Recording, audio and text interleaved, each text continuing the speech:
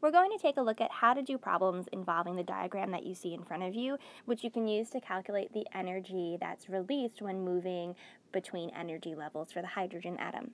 So let's say you see a problem and it says to calculate the energy released when moving from n equals 4 down to n equals 2. And remember that that n just stands for the energy level or the electron shell. So it really wants to know the energy released when you go from the fourth energy level down to the second energy level, which as we know when we go down in energy levels, we release energy. So you can use this diagram, which is on the back of your reference sheet to do to answer this question. So all I'm doing is to find the energy released or the change in energy. Um, I take the energy from where I start and subtract the energy where I end.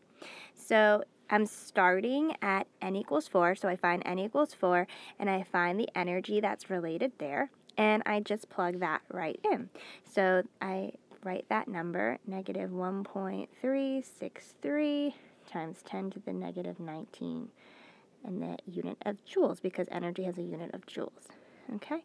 And from that, I subtract where I end. I'm just going to put that in parentheses so you can see. Okay, and where I end, which is n equals 2.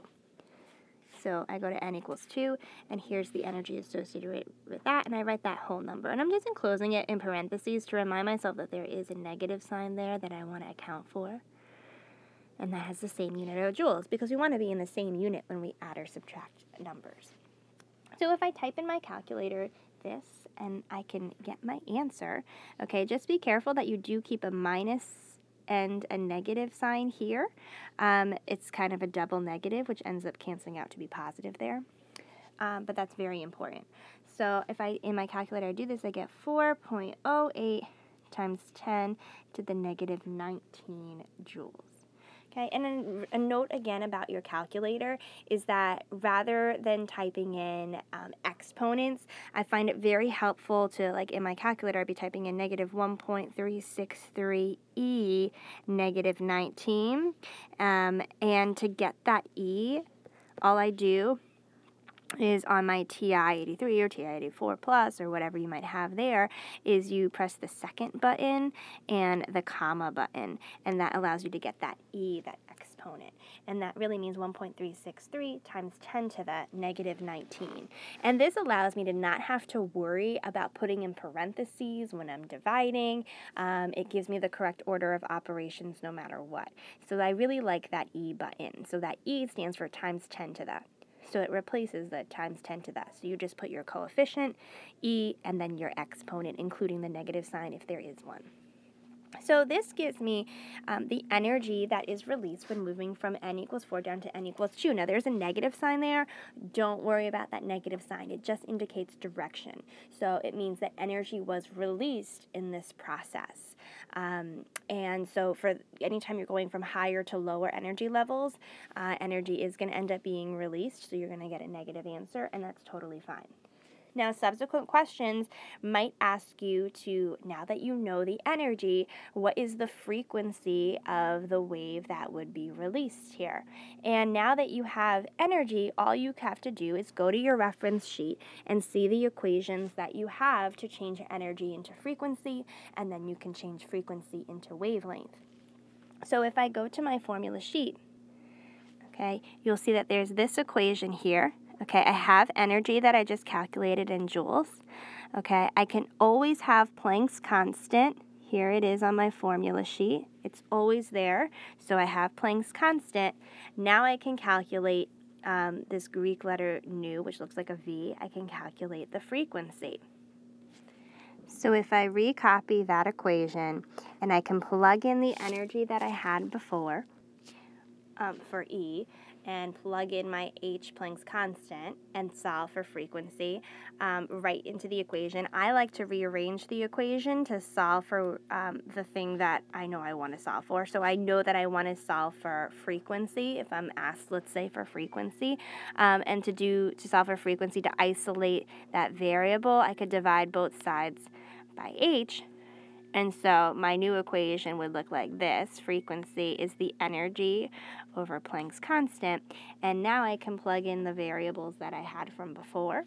Okay, if I look back here, here's my energy. So I'm going to plug that in for E. And I'm just going to ignore that negative sign in front because, as I said, it just indicated direction that energy was released rather than absorbed. It's really not going to make a difference when I'm calculating the frequency. Um, if you end up getting a negative number for frequency, just ignore the negative sign because that just means you carried it in when you didn't have to. And then I can plug in Planck's constant I had found on my formula sheet, again showing you here.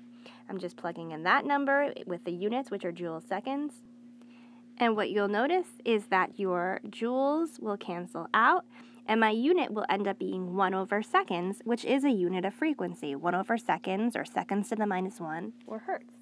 So in my calculator, and again as a reminder, use that exponent function. So in my calculator, I'm doing 4.08 e negative 19 um, and divided by Planck's constant. Try it in your calculator, try it along as I go. You should end up getting 6.16 times 10 to the 14th, 1 over seconds, or seconds minus 1, or hertz. Those are all equivalent units.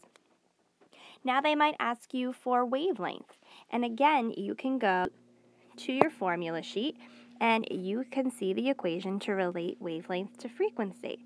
I always have C. So notice the two constants I always have are Planck's constant and C. So I have C, I have frequency, I can solve for wavelength. I just plug right in. So plugging into the equation, and I like to rearrange to solve for the thing, the variable that I'm missing. So I'm missing wavelength. To isolate wavelength, I can divide both sides by the frequency. So I'm really plugging into the fact that the wavelength is the speed of light divided by the frequency. Or 3.00 times 10 to the 8th meters per second over the frequency that I solved for before, and you'll notice that the 1 over seconds ends up canceling out, and my unit ends up being meters. Do this in your calculator, give it a try to make sure that you can do this appropriately so that you don't have to worry about um, dividing things with exponents. I definitely recommend using your um, E button. And you get 4.186 times 10 to the negative 7th meters. Now they might ask you, well, what color does this correspond to? And a formula, if I go to my formula sheet, I'll see that my colors um, are in nanometers. So you always want to convert your wavelength to nanometers in order to tell what color it is. And you have the conversion factor right here to convert between meters and nanometers. So it's always important to be aware of your units. So I'm just going to make space I can take this same meters that I just got and with dimensional analysis, I can put my meters on the bottom so it cancels out, nanometers on top, and I can copy in the conversion factor that I had on the opposite page that there's 1 times 10 to the ninth nanometers for every 1 meter. Meters cancel out, and in my calculator, if I do that math, I will find out that I get 486 nanometers. And if I go back to my formula sheet, okay, if I look up where about 486 is, okay, it's somewhere around here, which you might say is blue or green, depending on what, um, what your eyes see. So I'd say blue or green or bluish green or greenish blue or something like that. So this is showing you how you can use that diagram to first find energy by taking where you start minus where you end. If you look over here, where you start minus where you end to find energy, and then just doing those same wave calculations you've done before, which you can look at my previous video in more depth of how to do those.